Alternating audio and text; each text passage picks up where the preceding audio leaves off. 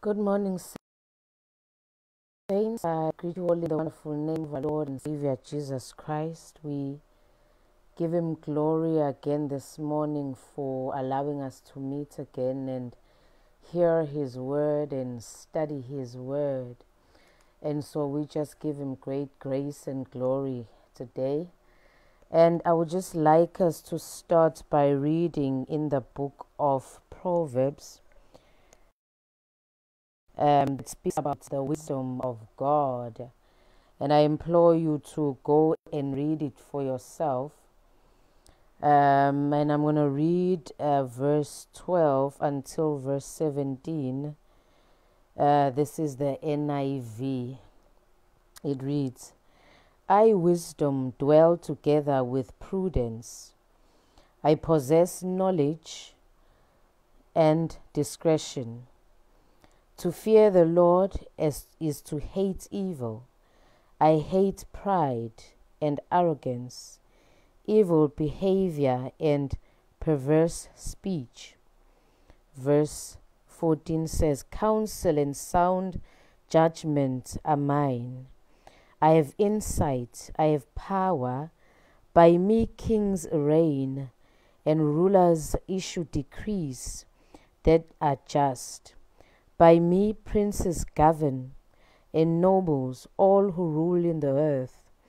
I love those who love me, and those who seek me and find me. And so I just want to speak about wisdom, even as we start this day, that may the wisdom of God um, fill us even in every area of our lives. May His wisdom be with us even as we study His word. He says in His word here in Proverbs chapter 8 that those that love wisdom, He loves as well. And as you read the, the verses that follow, uh, we find out that by wisdom God created uh, the heavens and the earth. So wisdom has walked with God from eternity. And so, whatever we want to create, whatever we want to do with our lives and in our lives, in our families, in all that we do, we need wisdom. If wisdom walked with God and created the heavens and the earth and all what we see, that was created from nothing into what we can carnally see now, it means that we need wisdom in everything that we do, and we find that wisdom walks with God. And so this morning, our prayer is that God fills us with His wisdom in every area of our lives. Um, he says here in verse, I'm just going to read verse uh, 18. He says, With me are riches and honor, uh, enduring wealth and prosperity. My fruit is better than fine gold.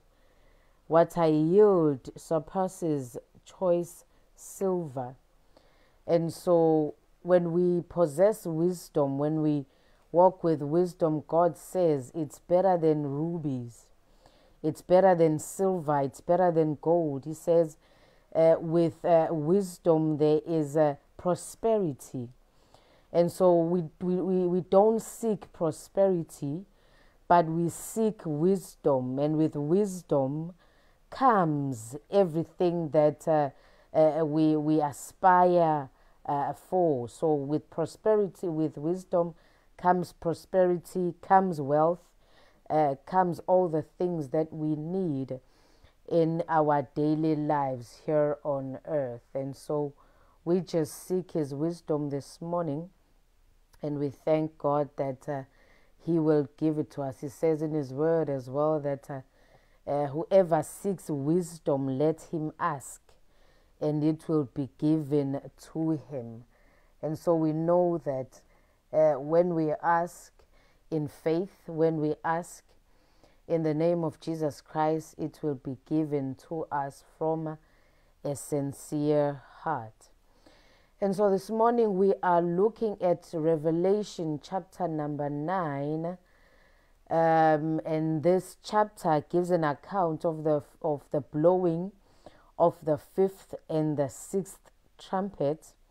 We've gone through uh, the five trumpets that have been blown already and found out what happens there. And so now we are in chapter 9 where the blowing of the fifth and the sixth trumpets are.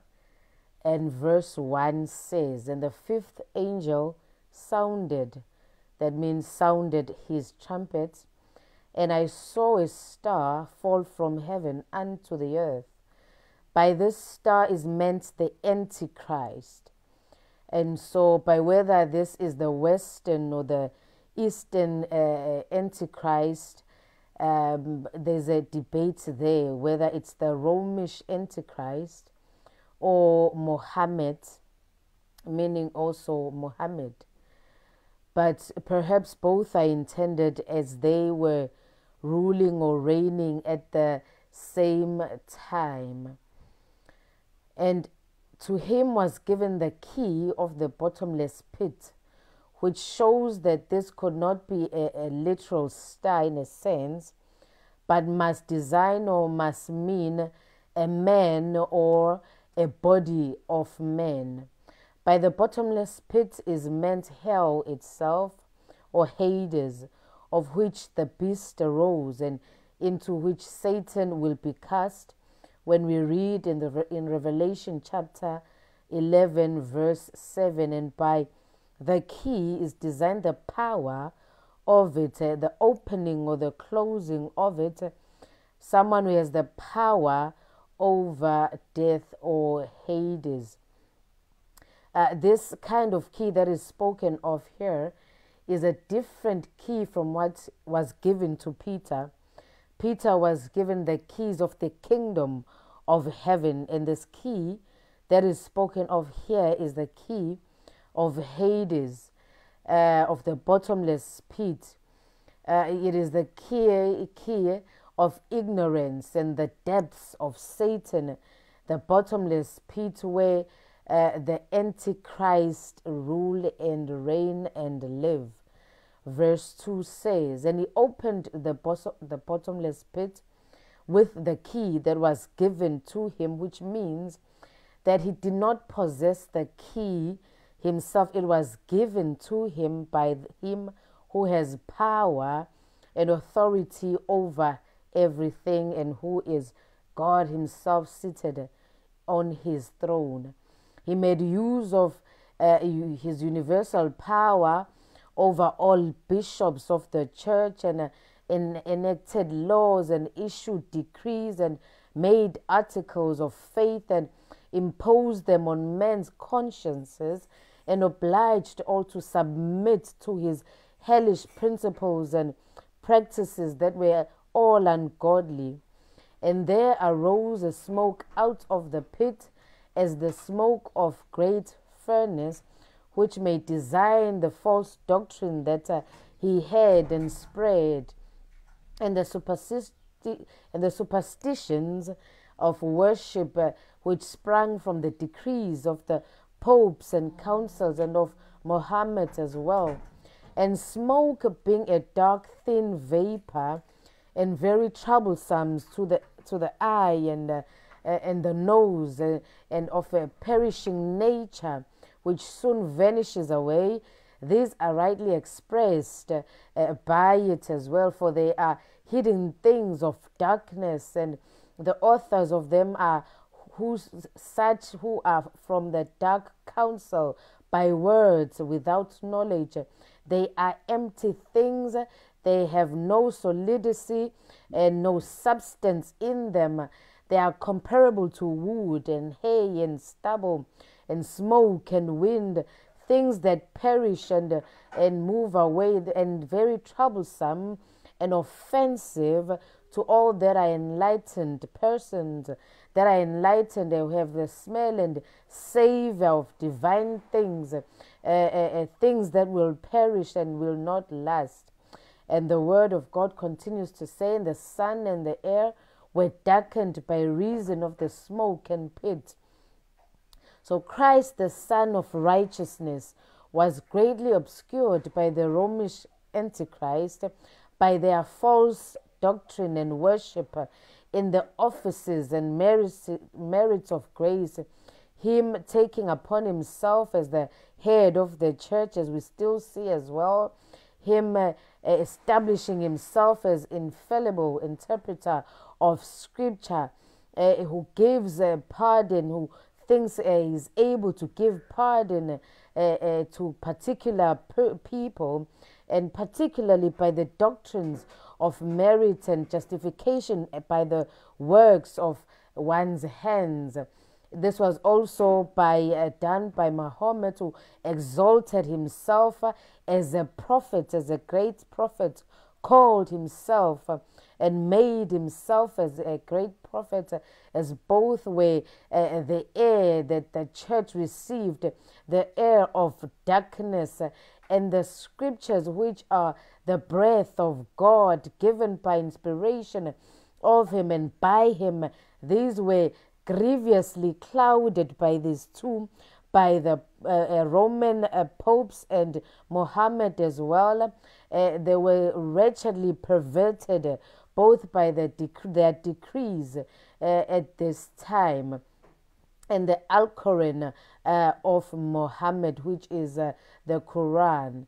Verse 3 says, And there came out of the smoke locusts uh, not literally locusts, for these were instructed not to meddle with the grass, nor are these meant by uh, the devils intended uh, uh, here, though they may be compared to locusts as well. Nor are we speaking here of the Goths or the vandals that were spoken of in the previous chapter. But here I meant the western locus, uh, uh, the western, which means the clergy of the Roman Empire, the cardinals, the bishops, the priests, the monks, and the friars of every order. These were not instituted by Christ Himself, but rose out of the bottomless pit from the anti Christian smoke of councils, decrees, and traditions and are fitly or rightly compared to locusts because of their number, which have been almost as the sand of the sea, innumerable, and have spread themselves all over the nations of the earth that have gone by the name of Christianity but are not.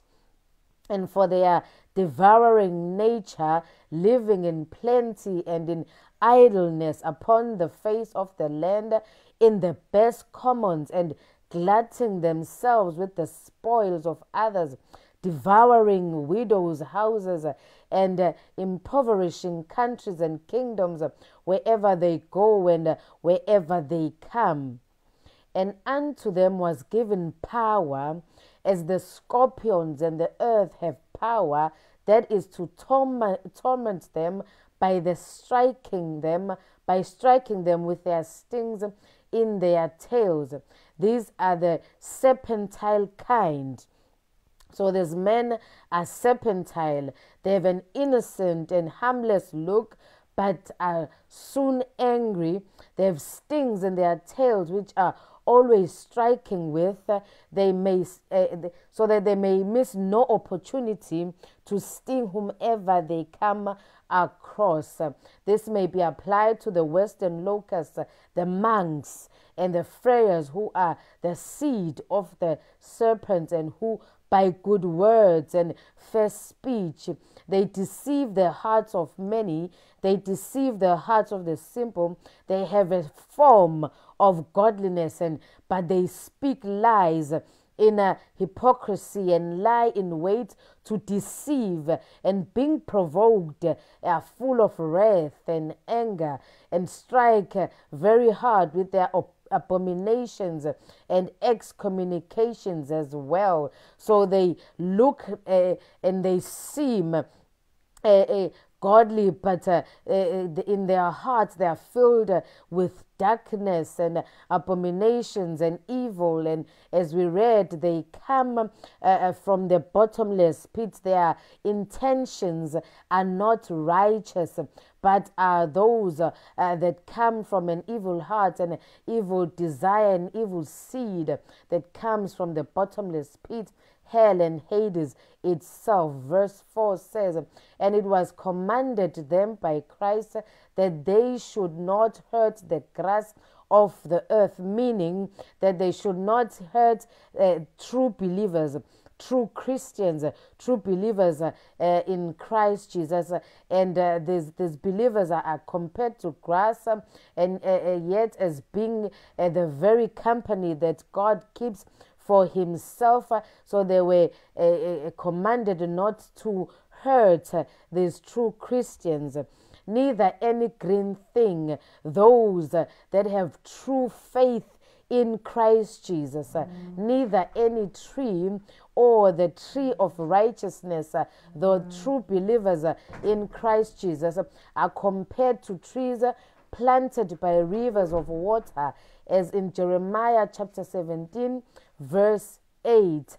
But only those men which have not the seal of God in their foreheads, meaning the anti Christian party. So these uh, uh, scorpions should hurt only those that are anti Christ, meaning the Romish uh, apostasy or the Saracens, uh, the, a nation that came from Hagar, whom which we find uh, had a child with Abram. Uh, by the design of Sarah. So these they came, they became a nation, uh, and and they called themselves Saracens. Verse five says, and to them it was given uh, that they should not kill them, uh, as the power of the locusts was limited. So these men were given power to hurt those without uh, the seal of God uh, on their foreheads, but they should not kill them uh, in respect of persons. Uh, they should they can cause mischief, but they cannot kill them. They can annoy them, but not kill them completely but that they should be tormented five months. Not a literal five months is meant here, but uh, seeing that uh, a time that a locust can live is but only five months, which designs or speaks to the entire life of a locust, which means that as long as the locusts live, they may annoy, they may torment these men without the seal of God on their foreheads, which means uh, as long as they they were around so as long as the, the, the Mohammed and the, the, Roman Empire and the Saracens were around or alive, they were given power to torment those men without the seal of God on their foreheads. And their torment was as the torment of a scorpion when he striketh a man, which gives great pain and uh, distress, uh, which is uh, stings, though their stings are poisonous to men. It signifies how troublesome and uh, afflictive those locusts were to be among them uh, that lived among uh, those scorpions. Verse 6 says, And in those days men shall seek death, or they may desire to die and shall not find it, and shall desire to die, and death shall f- flee from them. Death will be preferred uh, to a miserable life uh, that they were living among these scorpions, among uh, Muhammad, among the Roman Empire, among the Saracens, where was a horrible life uh, compared to a sting of the scorpions. Verse 7 says, And the shapes of the locusts were like unto horses. The heads of locusts, especially of some of them, are very much like the heads of horses, and here are compared to horses prepared unto battle. Locusts sometimes have a, an appearance in the form of armies. They have appeared in a form of armies and have marched in great order with their leader before them.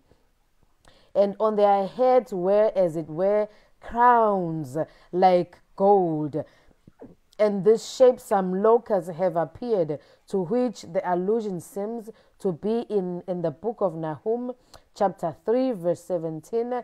Thy crowned men like as the locust. It may respect the triple crown of the head of them, because there were three of them, as we spoke of the caps of the cardinals as well, uh, the mitres of the bishops in the church, and the shaven pates of the priests in the form of crowns.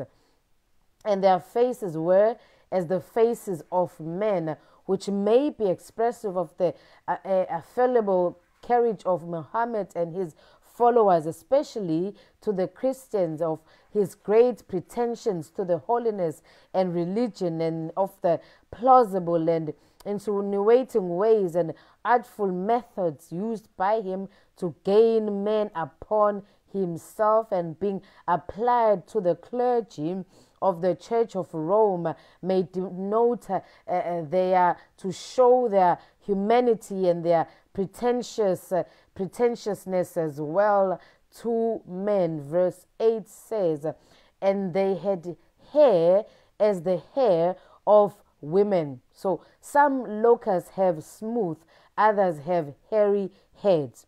This fitly points at the Arabians or Saracens as well, who used to wear long hair without cutting it and attired as men. So they dressed as women as well and have their names also from women. This may also point at the effeminacy of the Western locust, uh, the monks uh, and the friars as well, who dress more like women. And when you picture a monk, you see them dressed in a uh, there's brown uh, uh, uh dresses going down to their ankles, and and many of them claim the Virgin Mary for their patroness as well. And their teeth were as the teeth of lions, which may denote the ravages and the devastations of the Saracens in the empire, uh, robbing, uh, robbing men as well uh, among and inside the empire. Verse 9 says, And they had breastplates, as it were, breastplates of iron meaning uh, uh, uh, the armor which the Saracens wore.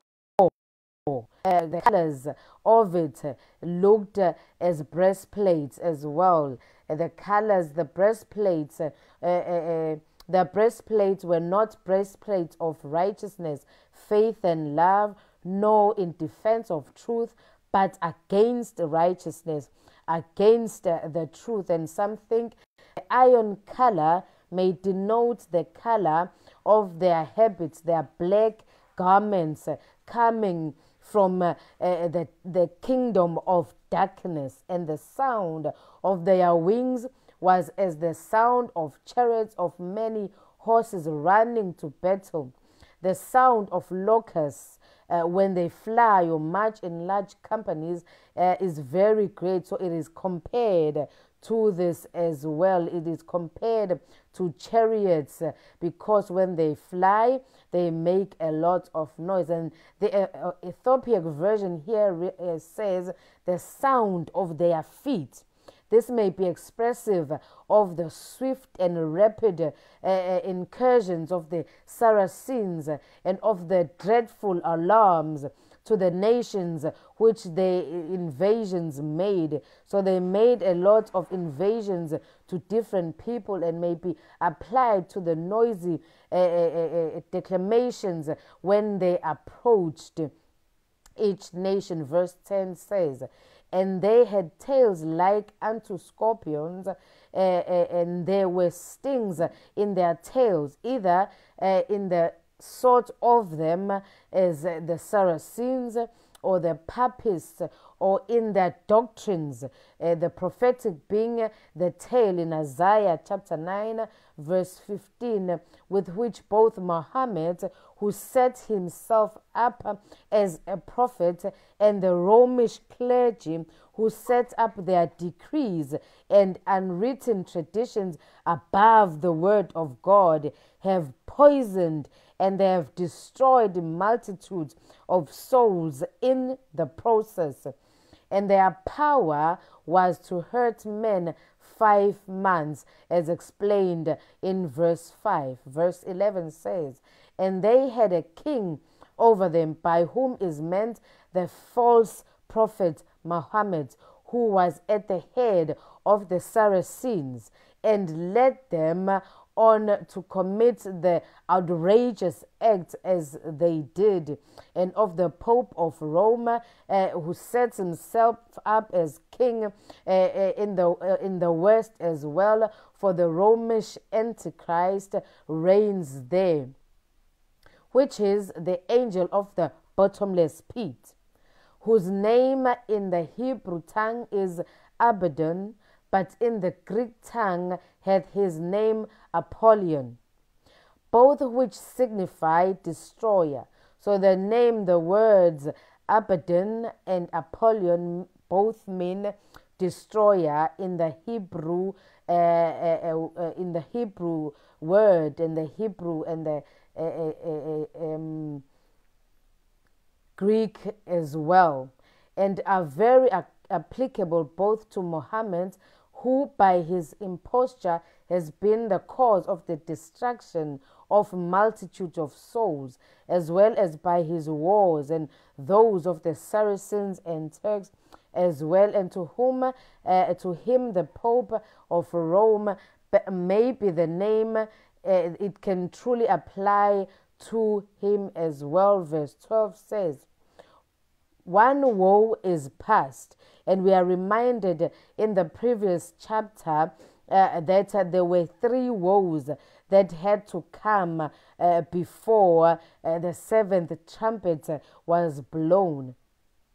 One of the three woe trumpets, the first of them that is in the vision which John had, not the thing itself designed by it. And behold, there came two woes more hereafter.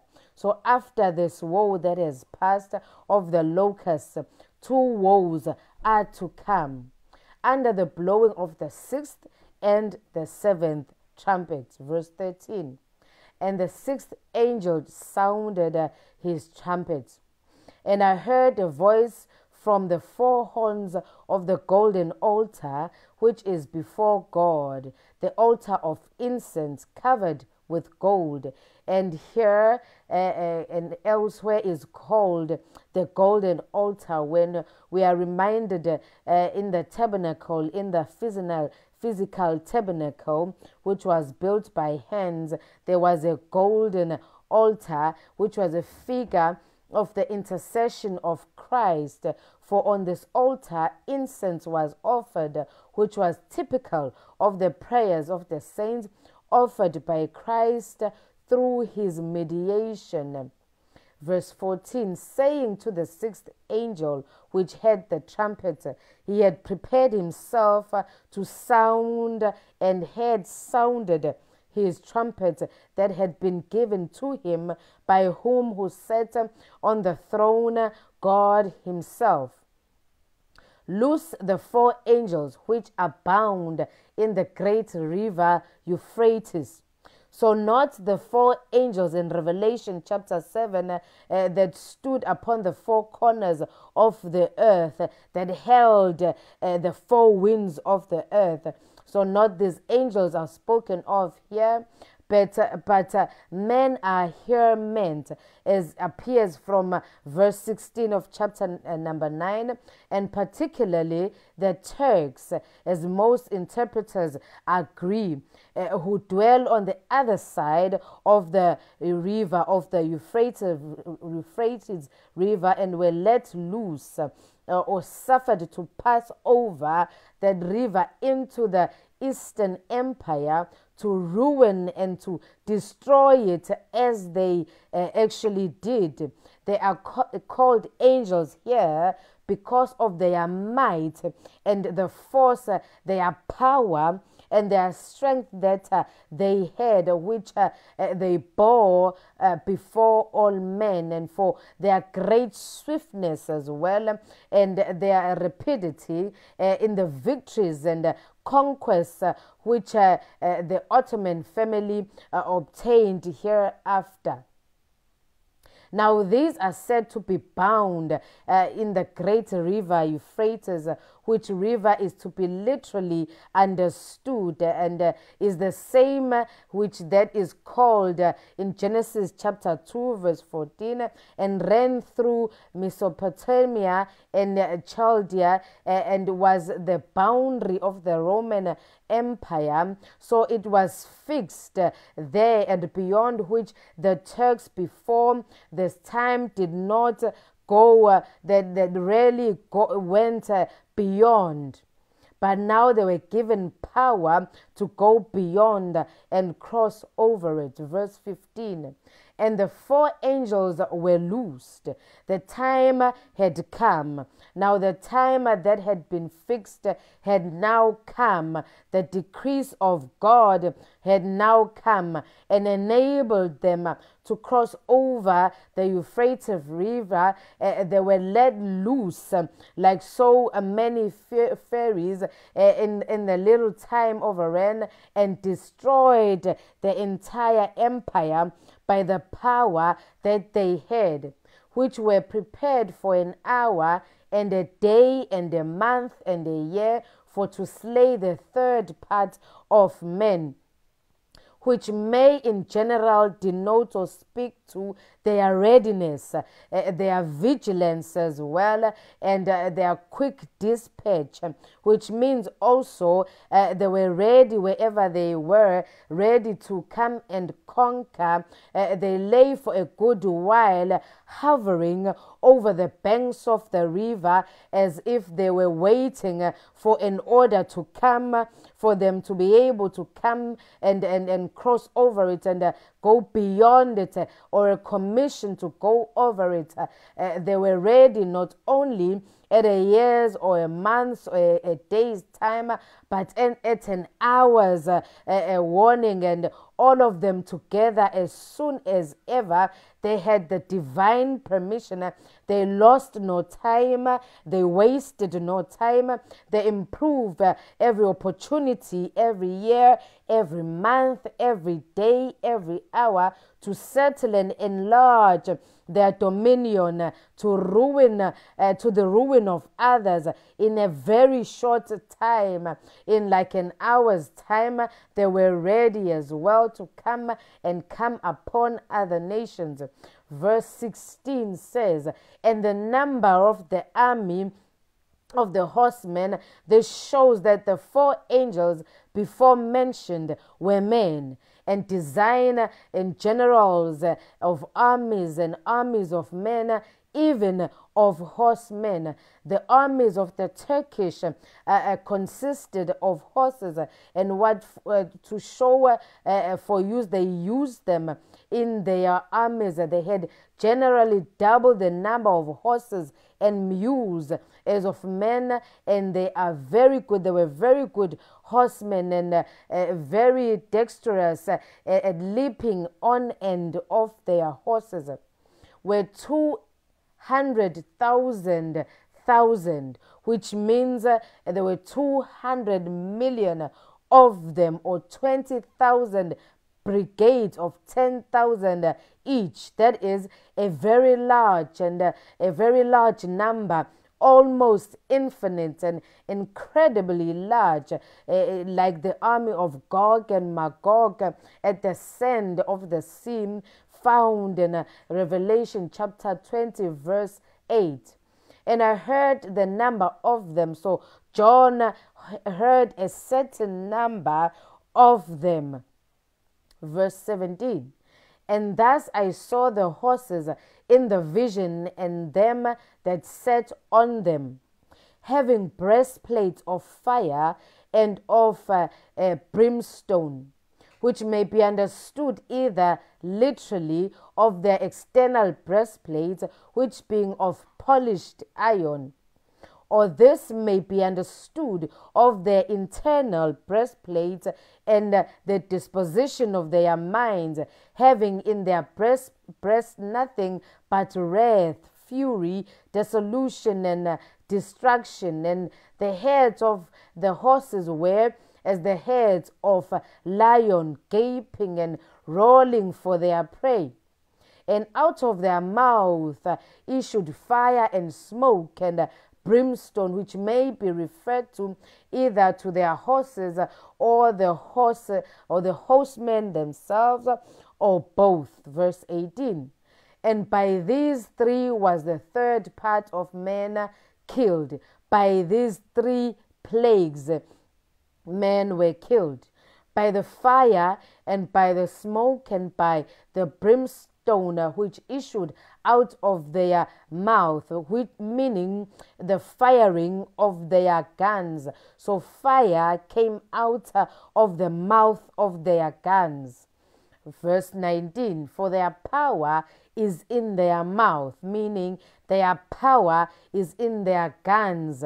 The fire that came out uh, of their guns and in their tails, which may design their foot soldiers, which were as the tail of their horses, and who sometimes did great service. So the horses would lead, and then there would be uh, foot soldiers that came behind the horses and had heads. Every tail had a head to it, which may be understood of the officers, of the foot soldiers, or of the priests and the teachers of the Mohammedan uh, religion. And with them they do hurt. With their guns, the power in their mouth, they did hurt to the bodies of men, and with their false doctrines, their tales, they did hurt the souls of men. Verse 20 And the rest of them which were not killed by these plagues, by whom are meant the Western anti Christian parties, and such of them as were not plagued, harassed, and they were destroyed by the Turks, as in Germany, as well as France and Spain, Italy, and etc. Yet repented not of the works of their hands, their idols, their images of saints departed, which their hands had made.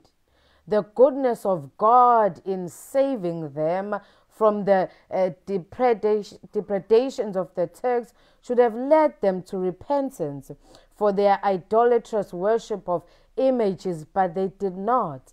They did not uh, leave uh, uh their false doctrines, uh, seeing that God had, uh, had saved them from uh, the Antichrist, but they do not uh, leave their uh, uh, falsehood, that they should not worship devils or demons meant here a sort of deities with the heathens that uh, uh, mediated between the superior gods and men and here design angels and saints departed which the papists worship and use as mediators and intercession for them. And so uh, these men did not depart from worshiping angels, uh, seeing that God has had saved them but they did not leave the worshiping of angels. They did not stop the worshiping of angels. They did not stop uh, the, the, the worshiping of departed saints. They did not stop the worshiping of departed people. And this is no other than worshiping uh, uh devils in God's account because uh, God calls us to worship Him only. He calls us uh, to worship Him uh, only as Creator, only, uh, and to Him it is the same as worshiping uh, devils and is downright idolatry in the face of God, and the doctrine of it is the doctrine of devils. And idols of gold and silver and brass and stone and of wood, which are the several materials of which the popish images are made, and what aggraves uh, uh, the stupidity and the worshippers of these images and of the persons present, represented by them is that uh, these are such which neither can see nor hear Uh, uh, so these images uh, uh, that they, they worship, these departed souls, these departed people that they worship cannot hear them, they cannot see them, they cannot hear their prayers nor stir one foot to help them or assist them. So these golden uh, articles or these departed people cannot hear, their prayers cannot see, they cannot uh, walk, they cannot uh, speak. Verse 21 says, Neither repent they of their murders of the saints and martyrs of Jesus. Uh, so they killed uh, the, the, the, the worshippers of Jesus Christ, uh, with whose blood the Western Antichrist is made drunk nor of their sorceries. Uh, so Jezebel, the whore of Rome, has been famous for, by which she had deceived all nations. Many of the popes of Rome as well have been uh, necromancers, given to the magic art, and have entered into covenant and have a, a familiarity with the devil. And one part of the Romish service lies in exorcisms, conjunctions, and the enchantments, and which they still continue doing at this day or in this day, nor of their fornications. So, all sorts of uncleanliness, not only simple fornication, but adultery, incest, sodomy, and all unnatural, unnatural lust they did not uh, move away from this. They did not stop uh, all these kinds of uncleanliness uh, after being saved by the power uh, in, the, in, the, in the hand of God nor of their thefts, who under pretense of granting indulgences and pardons and praying souls out of pur- purgatory with other tricks cheat men of their money, pillage and plunder their estates, and devour uh, widows' houses. They rob men of their substance and make uh, merchandise of their souls.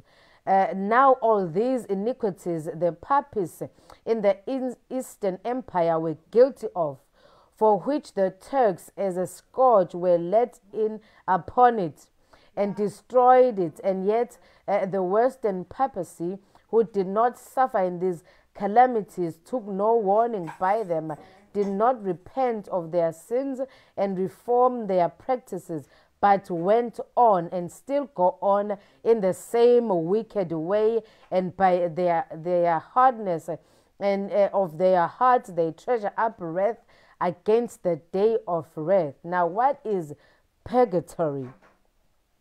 Purgatory in the Roman Catholic doctrine is a place or state of suffering inhabited by the souls of sinners who are expiating their sins before going to heaven. What is expiating? Is it is to make amends or reparation for guilt of wrongdoing.